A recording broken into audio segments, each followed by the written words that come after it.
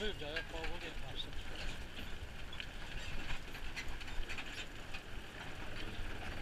Thank you.